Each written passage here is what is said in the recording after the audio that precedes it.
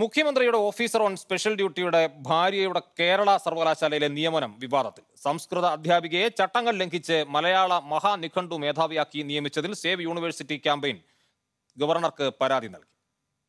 മുഖ്യമന്ത്രിയുടെ മുൻ പ്രൈവറ്റ് സെക്രട്ടറിയും നിലവിൽ ഓഫീസർ ഓൺ സ്പെഷ്യൽ ഡ്യൂട്ടിയുമായ ആർ മോഹനന്റെ ഭാര്യ ഡോക്ടർ പൂർണിമ മോഹനന്റെ നിയമനമാണ് വിവാദത്തിൽ.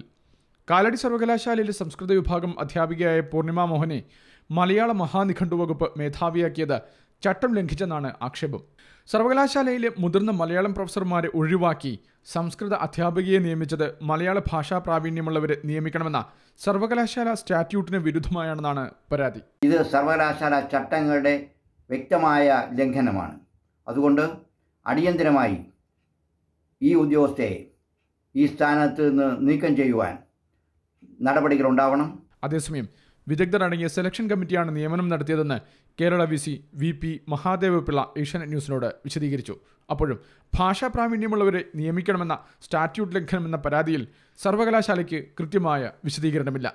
നിയമനത്തിനായി അപേക്ഷ ക്ഷണിച്ചപ്പോൾ പൂർണിമ മോഹൻ മാത്രമാണ് അപേക്ഷ നൽകിയത് എന്നുള്ള സർവകലാശാലയുടെ വിശദീകരണവും സംശയങ്ങൾ കൂട്ടുന്നു. പരാതിയിൽ ഇനി ഗവർണറുടെ തുടർ നടപടിയാണ് പ്രധാനം. Asianet news Thiruvananthapuram.